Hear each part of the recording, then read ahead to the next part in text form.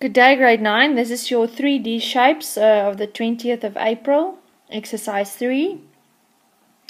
This is your day 13 exercise. So let's look at this table. Okay, I put the English there on top. Uh, first, they're asking for these platonic figures. They're asking for the name of the shape, then the shape of the faces, the um, number of faces, the number of vertices, the number of edges and then also the number of um, faces plus vertices and edges plus 2. If you can remember from two days ago, these two give a rule which is called Euler's rule or Euler's rule.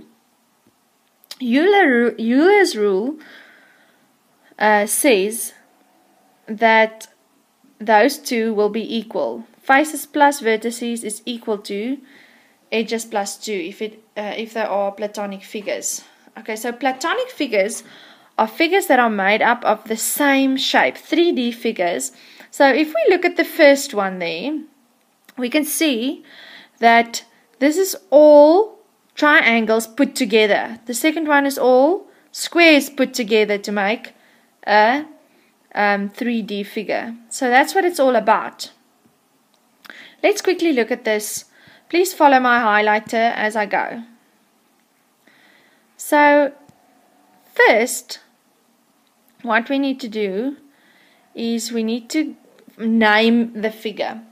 So let's quickly first name all of the figures.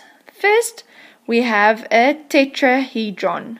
Okay, that's one with four faces. The shape of the faces are all triangles. Then the vertices are 4, the edges are 6, and then I add the vertices and um, faces to get 8, and I add the edges plus 2, I get 8. Right. The next one is a cube. Please ignore the Afrikaans. The cube's faces are square. It has six faces, eight vertices, 12 edges, and then I get 14 and 14 in the end. Then I have an octahedron. Octahedron has eight faces. All the um, faces are triangles.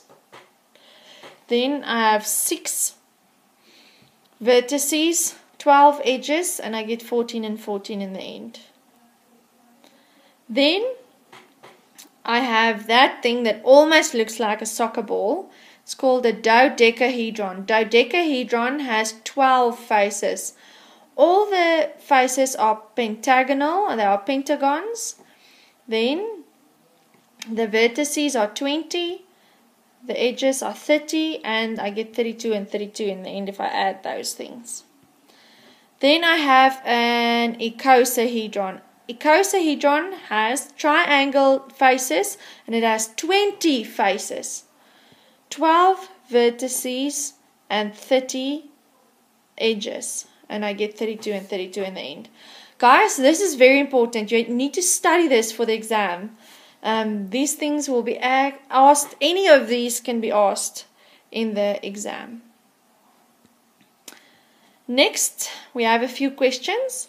On the left side over here, I have Afrikaans. Just ignore the Afrikaans. We are going to look at the right side. Write down the relation between the number of faces, the number of vertices, and the number of edges. Okay, so what they're asking us, what is the relationship between these two last columns? What do we see? They are equal. So what I can do is I can write that equal in my next question. So at number 3.2 I can write the faces plus the vertices is equal to the edges plus 2. And that is Euler's law.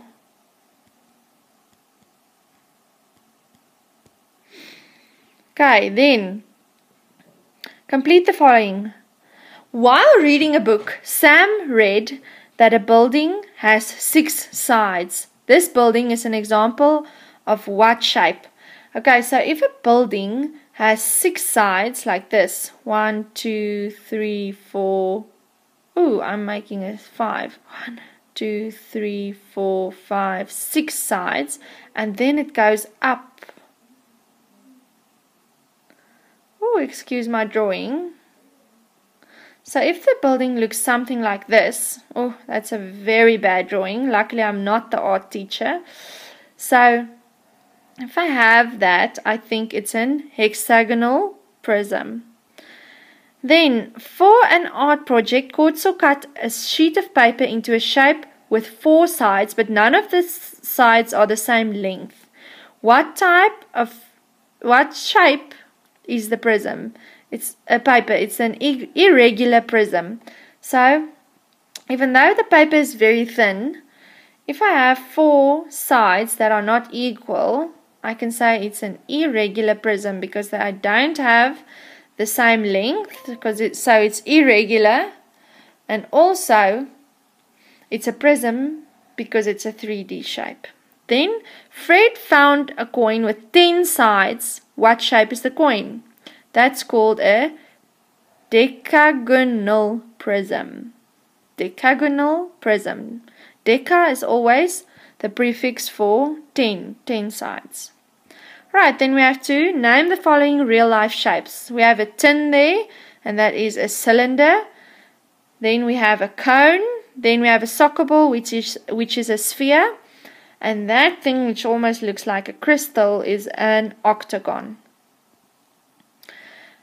Okay, and that is it for today. Please, if you have any questions, don't hesitate to ask your teacher. The email addresses are on the website.